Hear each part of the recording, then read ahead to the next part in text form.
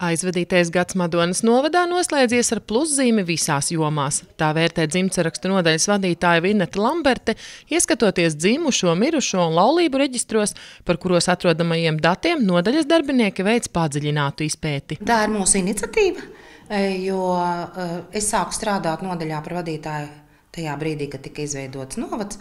Un ir ļoti interesanti salīdzināt, kā mūsu novadā ar, ar, ar dzimstību, ar mirstību, laulībām Tātad, kā tad mums iet? Bērni reģistrēti 210 jaundzimušie, tā skaitā 200 Madonas novada bērni, 103 zēni un 97 meitenes, kas ir par 20 bērniem novadā vairāk nekā iepriekšējā gadā. Dzimstība ir pieaugusi, par to ir, par to ir prieks. Eh, Latvijā kopumā tā ir joprojām samazinās. Ir prieks, kad, kad mēs varam arī savus bērnus atbalstīt. Eh, novada pašvaldība panāk pretī bērniem, un mums katrs jaundzimušais, kurš tiek deklarēts Madonas novadā, saņem saņem tādu kā palīdzības dāvanu 200 eiro apmērā.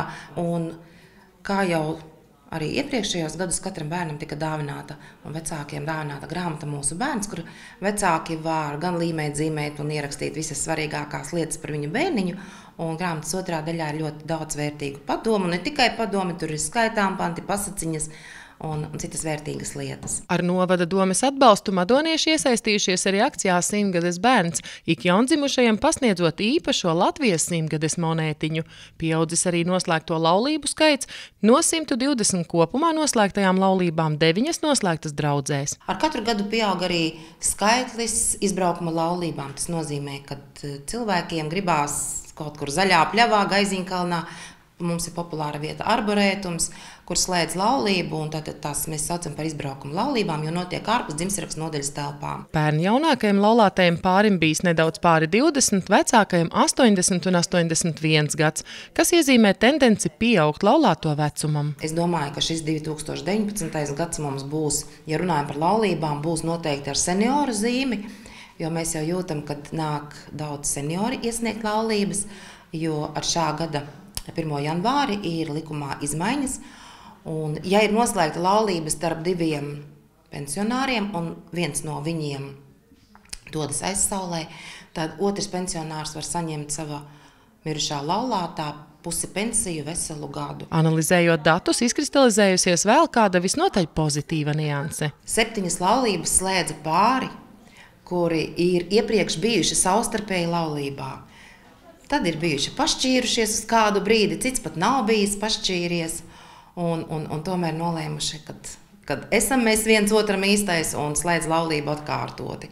Un viens pāris pat nāca man teica, tā mēs tā pakluso to visu gribam, jo bērni pat nezina, ka mēs esam bijuši šķīrušies. Savukārt 73 ieraksti reģistrā veikti par laulības šķiršanu. Arī šeit vērojama tendence pieaugt. Pie tam iezīmējies fakts, ka biežāk šķirtas tika 2008. gadā noslēgtās laulības.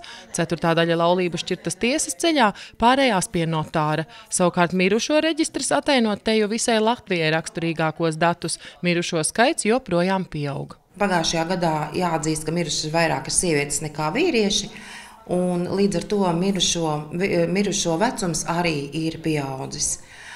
Protams, kā jau arī iepriekšējos gados, ja mēs skatāmies nāves cēloņus, tad joprojām tie ir sirds un asinsvadu slimības, kas ir 53% no visiem mirušajiem, 20% sastāda ļaundabīgi audzēji Un, un, un tad ir e, arī dažādas citas slimības, un nemainīgs paliek arī skaitlis, ka 2% apmēram novadā katru gadu savu dzīvi beidz e, pašnāvībā.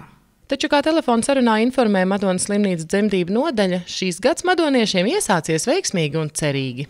Gads iesācies labi. 1. janvārī no rīta piedzima puisītis, 3,410 grami. Un, un kopā līdz šim brīdim Madonas slimnīcā ir piedzimuši 15 bērniņi nu, apmēram uz pusēm puikas un meitenes.